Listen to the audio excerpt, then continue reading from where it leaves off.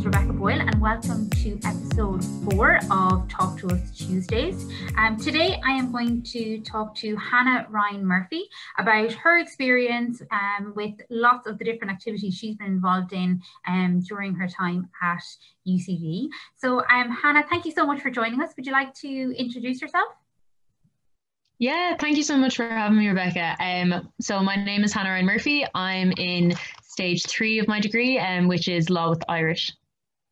Very good. Thank you so much. Um, so I suppose, Hannah, let's get right to it. Um, if you could, could you tell everyone what activities you've been involved in um, while you've been a student at UCD?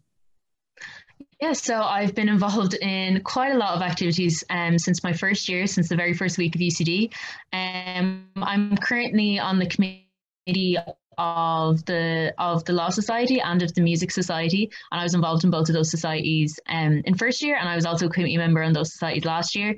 Um, and then I've also participated in the Student Legal Service, in JAMSOC, in Cumann Gaelach, um, Snow Sports Club, Musical Sock, Harry Potter Soc, and I also I write regularly for the University Observer as well. So quite a lot. that is amazing, Hannah. Um, do you have time for your degree, or are you just fishing that in just around everything else? That's brilliant. Okay, well, I'd love to hear a little bit about. Um, well, I suppose like obviously you were studying um, you're studying law and Irish, so there seems to be it's kind of obvious maybe that you would be involved in some of those activities that you um, that you mentioned. So yeah, do you want to tell us maybe um, kind of what led you to I suppose decide to get involved in the actual activities and um, you know how you went about that? Um, I suppose when I was in first year, I saw college as a brand new start for me, um, and I kind of just wanted to throw myself into it. I also didn't know very many people coming to UCD. I knew I live about an hour away, so no one from my school went to UCD. Um, I knew two people, and neither of them were in my degree, so I kind of needed to put myself out there to meet people and to make friends because you know yourself. There's 3 to 3000 people in UCD. Like it's it's can feel overwhelming sometimes. So I remember the first day and um, walking down the concourse and it was just hundreds of people around me and I felt so overwhelmed and I really just wanted to kind of make that seem a lot smaller by actually getting to know the people that were walking past me and a great way to do that was societies. Um, also just a lot of the activities sounded really cool and um, just weren't things I would have ever been like had the chance to do before when I was in secondary school. Um, so I wanted to just throw myself into it and um, yeah, it really it really worked out well. But yeah, that's what kind of led me to. I wanted to make friends, I wanted to meet people, and I also wanted to do the activities themselves. And like a lot of them were, as I said, things I'd never done before. So I kind of wanted to gain those new skills as well. So yeah, that's what led me to it. Brilliant. And you said that you in first year you started out kind of uh, just getting involved in the societies, and then you moved to take on um, you know roles in the committee. Can you tell me a little bit about maybe how you did that, kind of what what what's involved in trying to take a more active role in a um, society, and and I suppose you know, did you think you'd be able to do it? Had you gotten advice from the other members of the committee? Um, you know, what kind of let gave you the confidence to go on and, and move from just being involved in an activity to having an active role in the committee? So um, with the two committees I'm on, it was actually quite a different story for both of them. So with LawSoc, I was very involved in first year. Um, I met a lot of friends through there and obviously a lot of people from my degree. Um, so I kind of knew a lot of people and then I felt more confident because I was going to the events and I got to meet some of the committee members more regularly. Um, so I ran for freshers rep for LawSoc in first year, and there was just so many of us that ran for it, and I was unsuccessful, and I was really sad about it. Um, but I kept going to all their events and hoping that um, I'd get a chance to be on their committee. And then when applications rolled around, any it was really good because any fresher that had been involved in activities with LawSoc throughout the year, the auditor traditionally meets with every single one of them, and um, even if there's like 60 of them, to kind of talk to them about what their plans are for next year and if they'd like to be on committee and what kind of roles would be available and stuff like that. So you kind of get a little bit of an advantage then from um from being involved in first year. Now, that's not to say that you have to be involved in 1st year. Mm-hmm. There's people mm-hmm. on committee who just weren't involved in first year at all, that the auditor never met with, and they still got on committee. But it does like it does help a lot. So I remember I was one of those freshers, and the auditor for last year sat me down and told me about his plans, and you know asked if I was interested in applying for committee, and I did, and I got to ask him questions then, him and the secretary, which was really helpful. So then um, you apply, there's usually a written application and then you get an interview as well. And it's like a job interview. It's the same kind of questions, you know, what skills do you have for this role, what experience and stuff like that.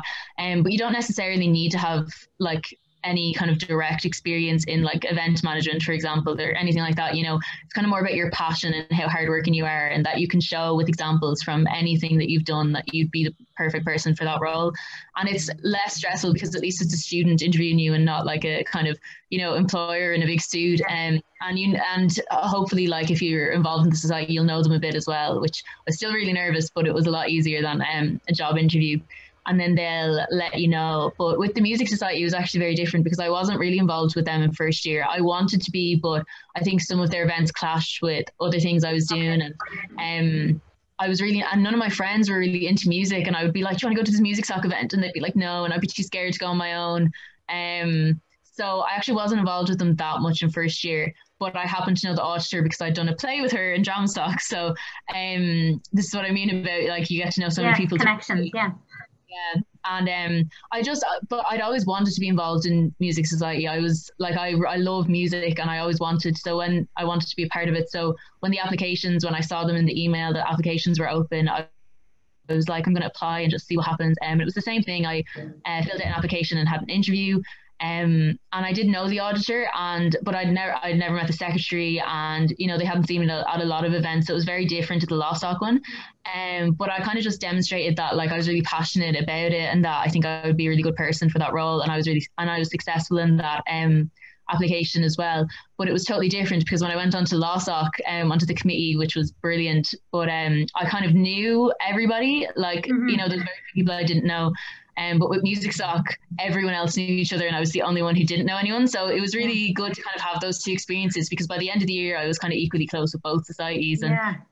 um, with both committees, but very different journeys to how I got there. Um, yeah, but that's kind of how you transition from being a member to a committee member. Just if you enjoy their events or you're you know passionate about what the society stands for regardless of like how little experience you have or how how much you've attended their events so, you know if you are passionate about it and you're willing to commit your time into it they'll see that in the interview and then you can kind of take a more active role because it's a lot it's a lot more fun to be on the committee than just being a regular member mm-hmm.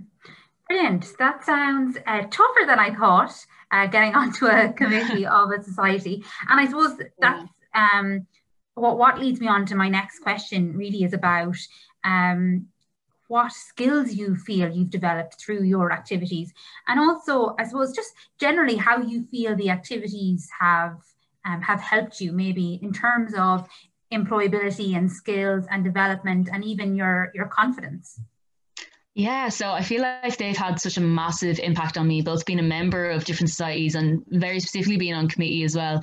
Um, so I think confidence is a big thing it helped with because as i said i just threw myself into everything in first year signed up for everything you know um, and then once you know because you have to sign up through forms it was like once i signed up there was no going back so i kind of had to follow through on stuff i'd signed up on on a whim because i felt like i couldn't let people down but i'm so glad i did because i'm all the better for it you know um like the first two months of college i was in um I was in a play. I was in a little st- a smaller version of a musical. Um, I had done a negotiate a legal negotiating competition. Um, wow. I tried my hand at legal mooting, which is like my courtroom. Um, I'd done debating. Um, and that was all within the first um, two months of college. So it um, was definitely stressful, but um, I gained so many skills from it because I learned new things, like I said, like legal negotiating, legal mooting. Like I'd never have done anything like that before.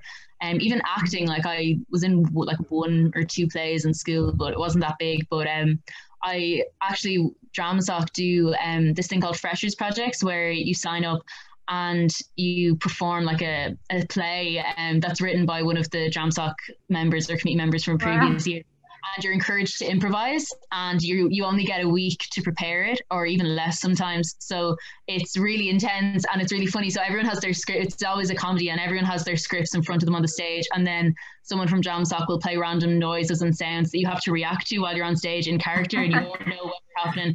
And that was a crazy experience but like I, I was so nervous. And I remember like having like improvising and you know doing all the stuff I would never have done before you know and reacting yeah. to mm.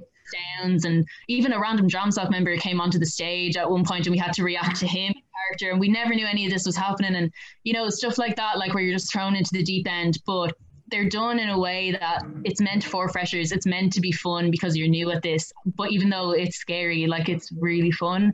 And um, so doing stuff like that really helped my confidence. I also did another play with Dramsoc um in November of first year, I did An Triail. So that was in Irish and that was a collaboration between John Dramsoc and Cumann Gaelach. So that was another challenge, like doing like that was serious action, but that was also like in Irish. So mm. um, and that was a much bigger audience because the freshers projects like, you know, was very, very small. But um An Triail was when schools came to visit and stuff. So that was um another thing I learned. Um and then as well, like I was involved in snow sports club. I learned how to ski. I had never skied before in my life. I only went a couple of times, but I had absolutely no skiing experience. And they take you out to um, there's like a ski training center in the mountains, and they have fake snow and they teach you how to ski. And um, so I have the very basic ski skills now that I never had before.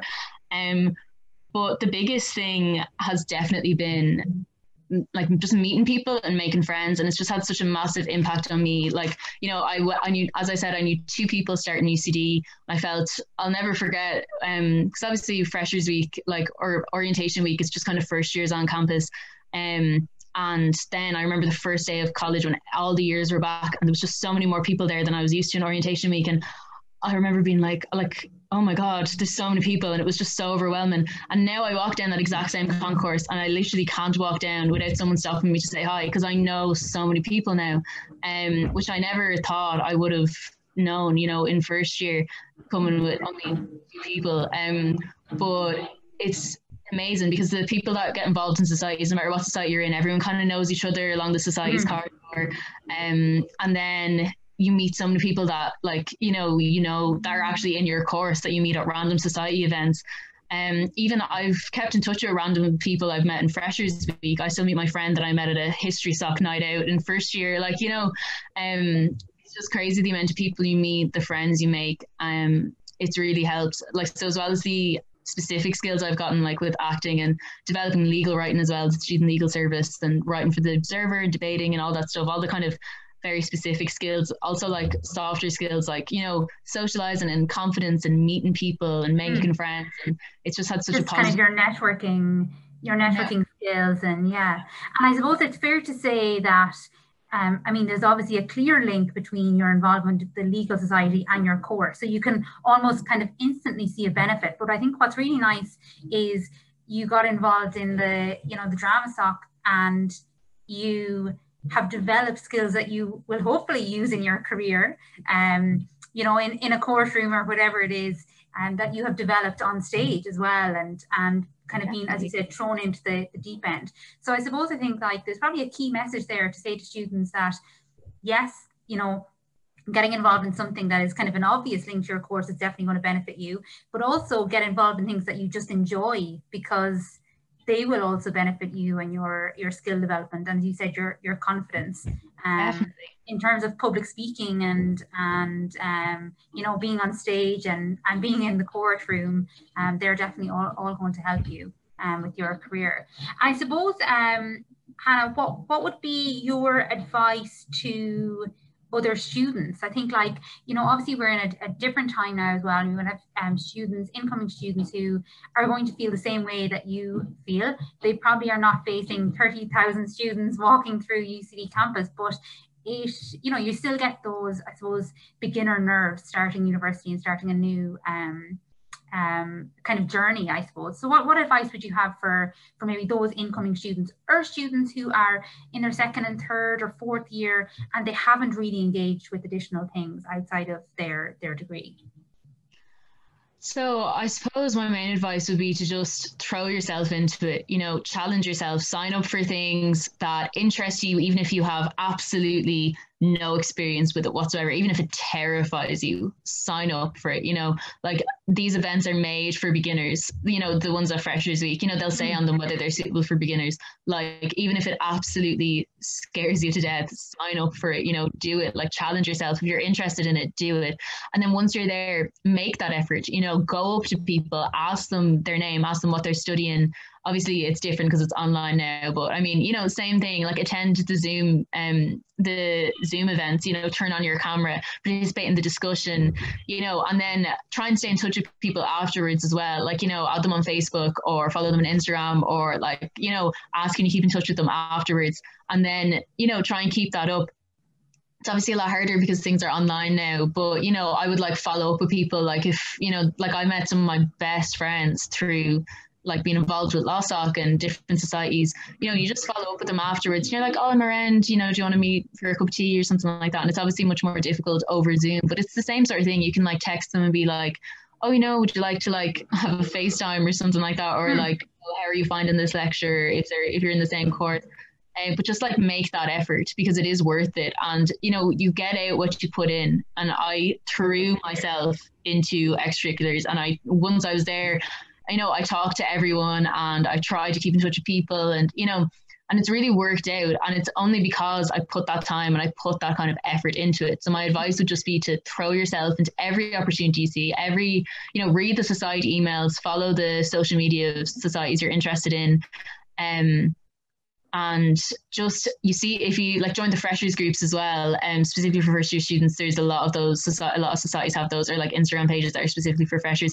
Any application form you see just fill it out like sign up do it. Like it's you, you know you learn something from every experience. Even if you don't love it you'll definitely have met some new people. Mm. you know you'll definitely have gotten something out of it. And on the opposite side like you'll probably end up loving it and making friends for life there. So yeah that's my advice. Just throw yourself into it that's great, Hannah. I think that's like some really important points here that actually this is the time to try new things and you don't have to like everything and you can, you know, maybe drop certain things and you'll keep on other, um, maybe some activities and not all of them. Um, but I think that is really, really good advice. And I will also mention that Hannah is in the process of completing her UCD Advantage application. Um, so she's using her activities um, like our involvement with societies to complete her UCD Advantage application. So if there's anyone listening who has is also involved in lots of great activities, make sure that you sign up for that award as well. Um, Hannah, I think that is pretty much it. Um, I hope students take on board what you're saying. We know that things are different than they have been in previous years. But as you said, even you know now more than ever, you need to put yourself out there a little bit more. And as you said, get involved in the um, the Zooms or the virtual events, um, and you know engage with people on social social media. And as you said, kind of throw yourself into whatever you can um, to make the most of your university experience. And of course, develop your develop your skills while you're here. Um, Hannah, thank you so much for taking the time to talk to us. Um, Thank yeah, you so much. The best of luck with the rest of your um, your studies. Thank you so much, Rebecca.